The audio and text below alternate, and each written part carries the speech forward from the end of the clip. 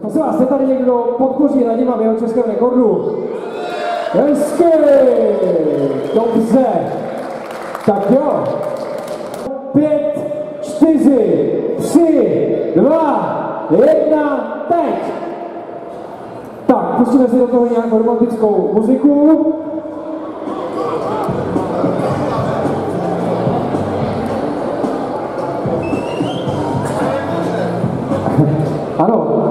Tady je zpráva poznámka, vypadá to, že Radim to ani jako nekouše.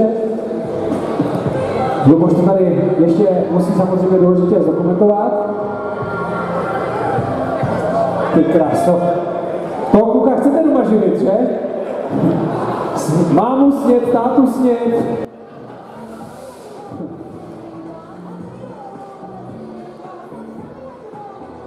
Myslím si, že když se dělá takový ten průměr toho, kolik zaplatí průměrná česká rodina za jeden běžný nákup, uh, tak tady uh, jsou případy přesně jako radím, kteří ten průměr značně zvyšují. To je neuvěřitelné. Přátelé, pojďme podpořit. Už je půlce prvního dílku. Protože samozřejmě, jak dobře víte, když je vyhecujete, tak eh, výkony se tím zvyšují. Člověk je plný adrenalinu a všeho možného.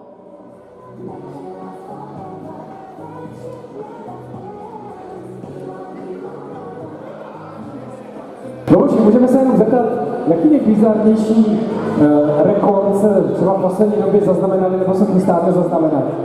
Eh, Je toho strašně moc. Eh, Včera jsem byl v Holašovicích v Jižních Čechách a tam eh, jeden týpek, který postavil vlastně Stonehenge, to znamená kamenný kruh, tak postavil největší menhir v Čechách, ten kamen má 9 metrů na výšku, má 150 tun s tím podkladem, takže to bylo úplně neuvěřitelná věc. Sešla se celá keltská společnost a keltové ten kámen jakoby zdvíhali za pomoci hasičů teda, ale nakonec se to zvedlo. Je to úžasná věc. Já nevím, uh, v úterý jedu do Rakovníka na Chmelnici, kde udělali květinový půl litr. Zasadili kytky žlutý a bílý a ten půl litr bude prostě obrovský rozměry. Dělá to plzeňský prazdroj, takže jako skoro každý den něco. Jako musím říct, že ráda je neuvěřitelnou jako tempu. Jaký máme zatím čas? Já tady vidím 2 minuty a 25 vteřin. Uh, myslím si, že v něm málem končí první celý kyblík, to jsme vůbec jako nečekali. No myslím, že ani Luboš nečekal, co?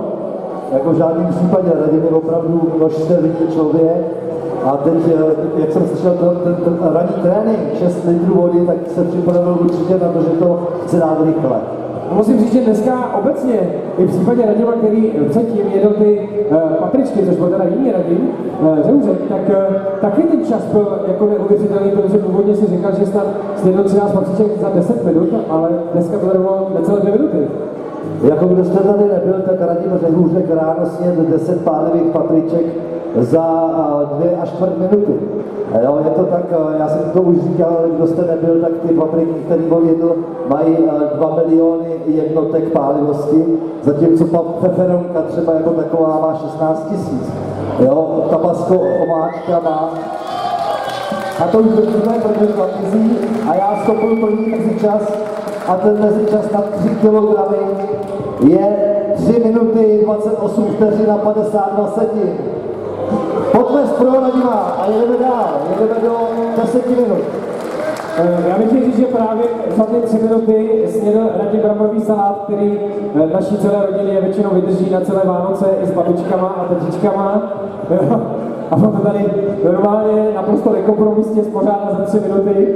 Eh, Dejte si pozor, až se pozvete na návštěvu, bude to přísné. No a jdeme do dalšího kola. Přátelé, já teda jako žasnu, co všechno se může odehrát na takovém skvělém gastrofestivalu.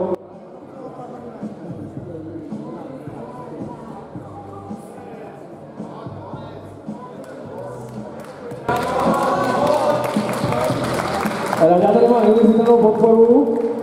Úplně na pohodu, úplně na pohodu. Je třeba si všimnout, že k tomu vypil už vody. jo.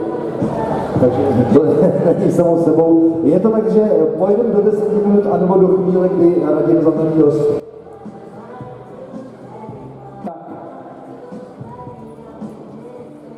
Musím říct, že Radim je něco jako velbloud, jo? On se nají třeba na 14 jako takhle jako dopředu, spolíká e, 6 kilo nějaké gastronomické hmoty a potom e, odpočívá jako lev, který když samozřejmě uloví svou kořist, tak se taky nají nebo jako had, že jo? A potom už jenom leží a tráví. A na pohodu. Přátelé, to neuvěřitelné, uh, dělám si tak jako, že z bočku a myslím si, že třetinu až možná i polovinu toho kyblíku má v sobě. Je to mazec.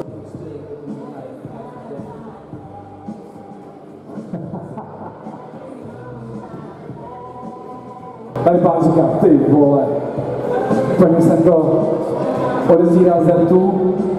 Kolik to tak sníte vy? Podstatně méně, že? No. A přitom byste chtěl takhle skvěle vypadat, že jo? To bylo super. No. Holky, je tady některá, která závidíte uh, zde přítomnému Radimovi, že sní 6 kg čehokoliv a tak hrozný a přitom vypadá takhle neuvěřitelně hubeně. Zvedněte ruku. Ano, tady madam zcela potupně zvedá ruku, je to tak. Přátelé, podívejme se pravdě do očí. Vidím tam Davida Malička, který se směje. Davide, pozval by si s Radima k sobě na catering? Bylo by to drahé, ano, pověřím. Tak on, on nejí, on nejí uh, pizzu po trojníčcích, ale po metrech. Trošku teda třeba napružit. Koukám na Radima z boku, vypadá tak takový jako 6-7 měsíc trošku.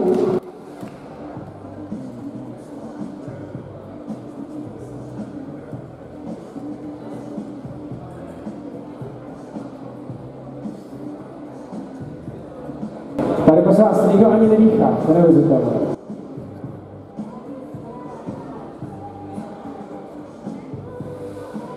No a Luboš, abychom tak trošičku teď vyladili tu chvilku, eh, necháme Radima se soustředit, tak eh, eh, bavili jsme se o nejbizarnějším rekordu, ale jako, jaký největší jako masakr, třeba fyzický, se celé té historii, co tu knihu vydáváte, tak jste zaznamenali? To je taková, taková těžká otázka. To fakt bylo hodně, my asi 10 tisíc už rekordů za těch 33 let. Samozřejmě jsou tam všichni paralympionici a olympionici a sportovci a tak, ale co si pamatuju já, asi z těch silových rekordů nejvíc, tak byl Karol Osterták ze Slovenska. Radimovi zapadnit a... Ano, tady je taková paní cílka, už jsme v polovině, víceméně dá se říct ve tři čtvrtinách toho, co potřebujeme smístit.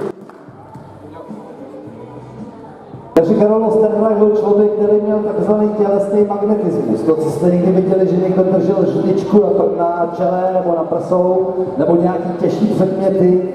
To byl chlap, který mu bylo 72 let. Vážil 72 kg a tímhle způsobem lžička na prsou unesl 225 kg těžkou zátěž. Bez držení rukou. Prostě zved ze stojanů na prsou čínku, která, nebo takový plechy, by to byly železa, která vážila 225 kg a prostě se stoupnul s tím, stouval z těch stojanů a ta čínka mu držela, nebo to závaží mu drželo jenom na hrudi, bez pomoci rukou. Do dneška vůbec nikdo, ani Akademie věd, když uh, Karol zemřel, tak jsme jim to nabízeli jak nějakému studiu a nedovede to vůbec nikdo vysvětlit, jakým způsobem se to stalo nebo jakým způsobem se to děje.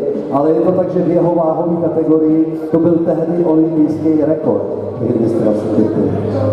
To nás pronesovalo skrz na skrz. Prosím vás, mám tady šest automobilů, kteří stojí špatně a u jejich automobilů, u těchto automobilů stojí policie a dává tam botičky, tak modré Subaru 7T4 8741 bílé, ne, stříbrné BMW 2TE 6446, bílá oktávka 3BB 7567, černý Chevrolet 7T7 8546, další stříbrné BMW 1BL 5385 a posprojovaná Honda DTR 08378, což je polská značka.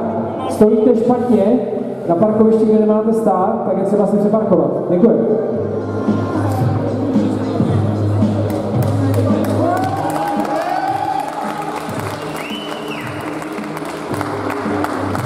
Takže určitě to zesilte, ještě ten podcast zbývá nám pět minut, pojedeme do 15 minut, jsme se domluvili Radimem.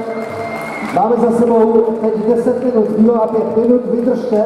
Radim, když už se do toho pustil, zase nechce vzdát. My ten zbytek, který je si samozřejmě odvážíme zjistíte přesný množství uh, snědeného bramborového salátu. Když jsem ptal Lukáš na ty věci, které kolem těch rekordů jako kolujou, nebo které se dějou, tak vlastně nám každou chvíli někdo volá do agentury, že něco.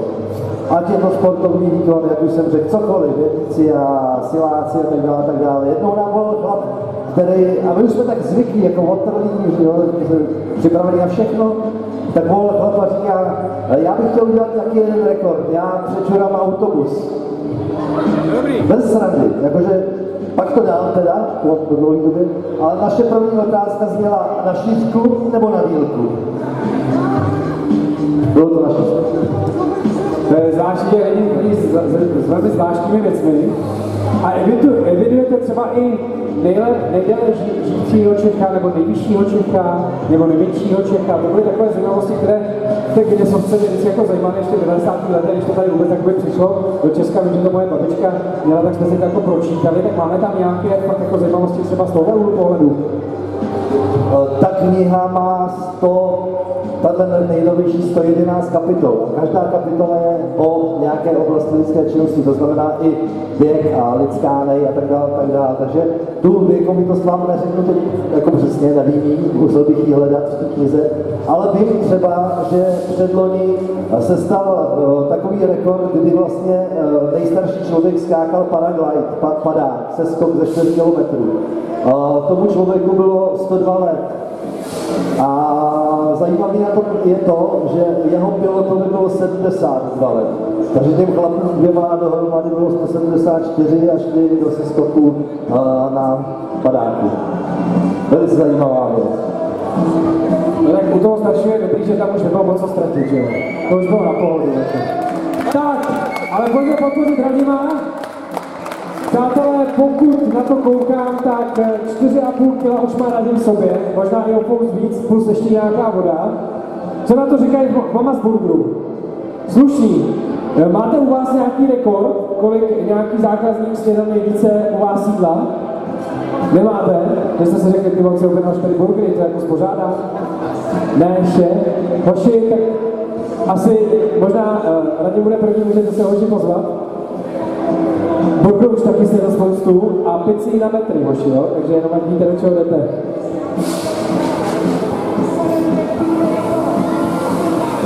Tak, přátelé, to je přesně ten uh, pocit, když jeden člověk trpí a další 300 na to koukají. Bla, blahodárně uh, si užívají ten jako pohled, že to nemusí jako absolvovat, ale každopádně vnitřně mu držíme palce. Je to neuvěřitelné. Dvě minuty zbývají. Zbývají nám dvě minuty do deseti minut. Do 15, dobře. Je to těžký, je to těžký. Tak dáme pánové, pojďme dodat atmosféru energii Radimovi.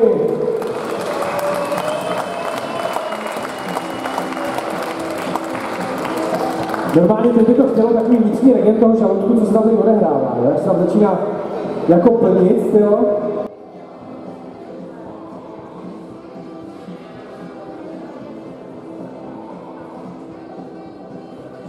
Tady ukazuje, že jste všichni jedničky a že i on je zatím úplně v pohodě.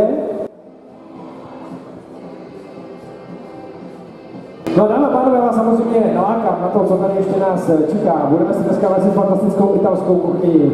Eh, budeme si dneska dělat skvělé, úplně no, nový jakoby koncept eh, palačinek ve stylu sushi s Radimem Svačinou. Budeme si eh, bavit o skvělých cookies. Budeme se tady bavit o skvělém popcornu, českém popcornu, který má dokonce světová ocenění.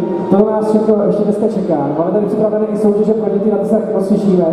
Ale teď Radim Hozáček bojuje s rekordem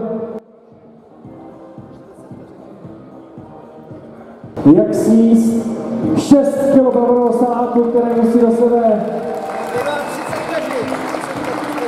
30 do 15 minut. Dobře, ale my pojedeme asi dál, ne? Nepojedeme? OK.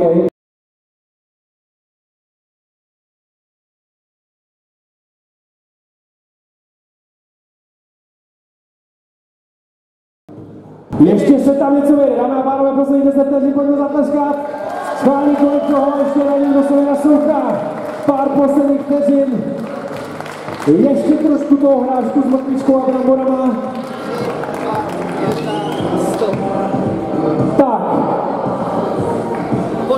Dámy a pánové, určitě můžeme nebudeme zatleskat.